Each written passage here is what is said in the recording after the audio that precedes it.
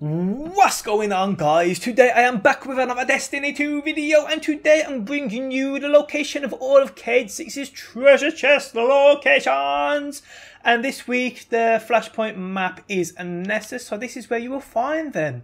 So we're going to start with this one right here. So you want to spawn into Exodus Black as we will do.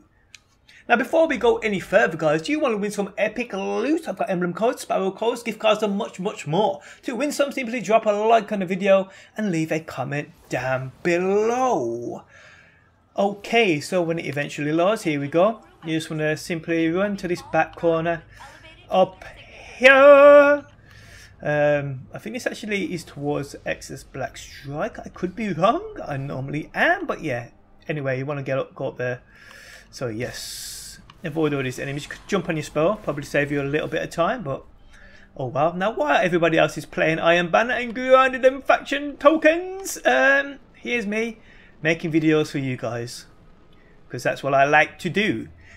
Okay, so it's just literally around this corner. Right there.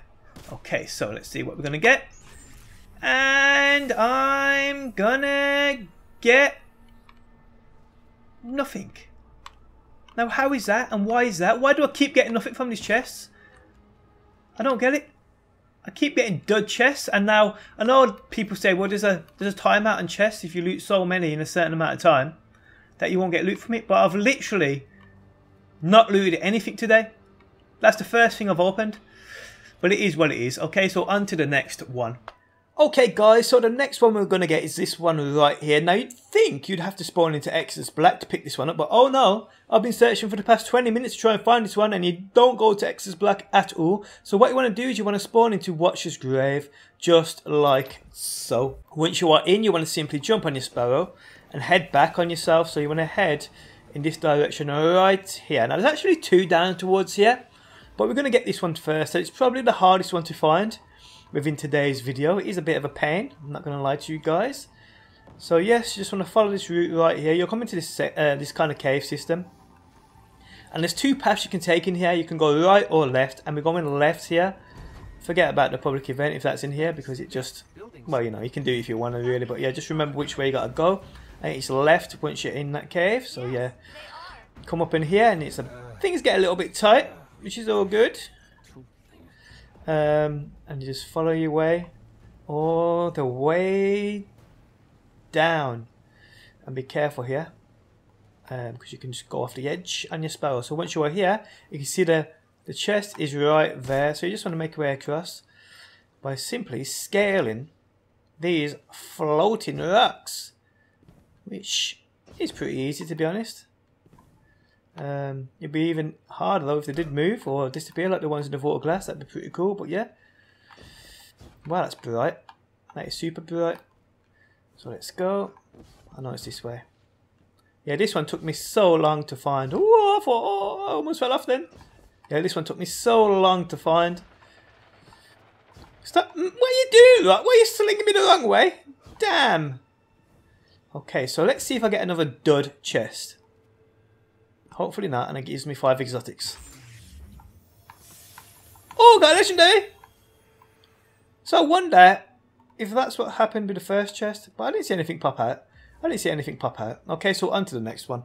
Okay, so the next one we're going to grab is this one right here. And again, you need to spawn into Watcher's Grave. Once you are in, you simply want to pull out your Sparrow. And again, head back on yourself, just like so. Now we're heading to that kind of cave room again, but this time instead of going left, we're going to stick right. Now there is a few different places you can get to, by going right so just make sure you follow my route exact and you will find this chest. And my phone is vibrating like crazy now but yeah don't worry about that. Um, so come to this room and you want to go straight through and you want to aim for this little passageway right here.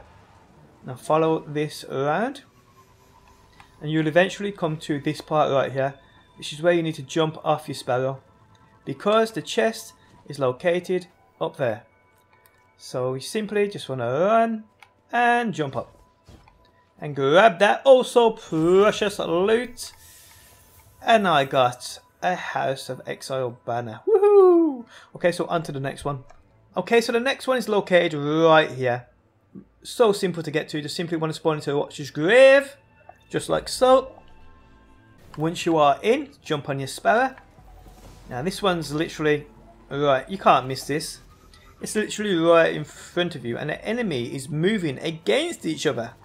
And we can see it is up there on that enormous branch. So you simply want to jump up onto this tree. I'm not even sure how you get up here, but we will find we will figure it out. I'm guessing you go this way.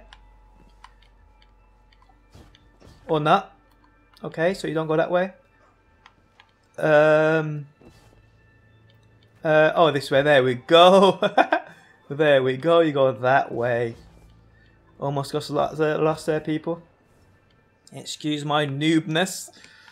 There we go. And what's it going to give me? Oh, I got two blues, and I got a weapon mod and a letter fragment. Okay, so on to the next one, which is the final chest. Okay guys, so the last one we're gonna get is this one right here. Now you can spawn into either Artifact's Edge or the Watcher's Grave, but we're gonna go with the Watcher's Grave this time around. So once you spawn in, as I do uh, right here, right now. You want to simply jump on your sparrow and follow the route I take. Now this one, it, it's not difficult to find, but I mean, the place it points it out to you on the map, it's like not there. So you're like, well, what have I got to do? Where have I got to go? But it's actually a lost sector underneath which is actually located in a little sneaky room in there. So I'll showcase it to you guys right here, right now anyway. So no worries if you can't find it. But yeah, so you just want to follow the route I'm taking. And you will come to the Tangle, I think this place is called. Um, whatever. Then you want to come down here. Alright, keep going, keep going, keep going, keep going, keep going. And you'll see right here on your right, there is a lost sector. This one right here. So you just want to go into this and you'll see there's a little sneaky room somewhere here on your right. Uh, right there, a little hidden pathway.